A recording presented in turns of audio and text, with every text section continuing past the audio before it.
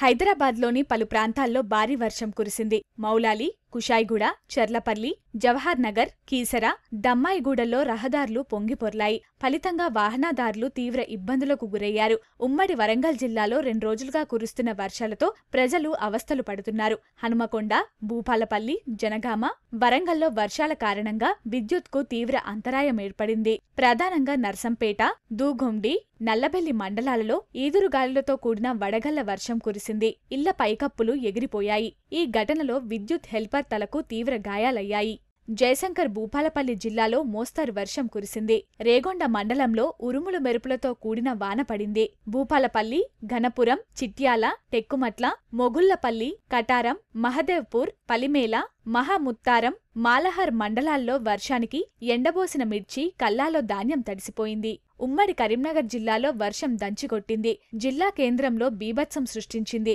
శ్రీ వెంకటేశ్వర స్వామి బ్రహ్మోత్సవాల్లో భాగంగా తెలంగాణ చౌక్లో నలభై ఐదు లక్షలతో విద్యుత్ దీపాలతో ఏర్పాటు చేసిన భారీ లుమినార్ పడిపోయింది. ఆ సమయంలో అక్కడ ఎవ్వరూ లేకపోవడంతో పెను ప్రమాదం తప్పింది. భారీ ఈదురుగాలులతో కురిసిన వర్షానికి కాలువలు పొంగిపొర్లాయి. రహదారులన్నీ బురదమయమయ్యాయి. రాజన్న సిరిసిల్ల జిల్లా వీర్నపల్లితో పాటు జగిత్యాల జిల్లా సారంగపూర్లో రాళ్ళవాన కురిసింది. కరీంనగర్ రామడుగు మానకొండూరు జమ్మికుంట సైదాపూర్ సుల్తానాబాద్ పెద్దపల్లి తదితర ప్రాంతాల్లో ఏకతాటిగా వాన పడడంతో లోతట్టు ప్రాంతాలు నీట మునిగాయి.